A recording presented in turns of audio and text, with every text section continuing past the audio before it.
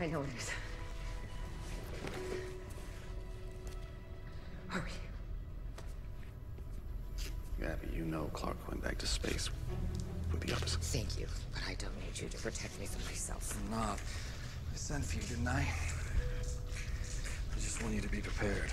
It's Nightblood that knows where we are. Who else could it be? Put your damn helmet on.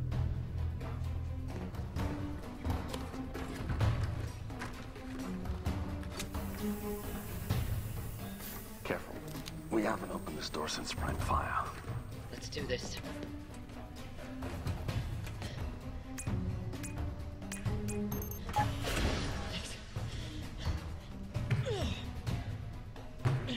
Marcus, there's something wrong. It won't open.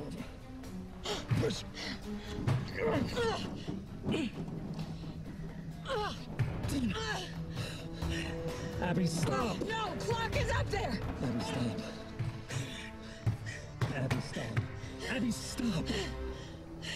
It's sealed from above. If the building's collapsed, then. He's not getting it. We're not getting out.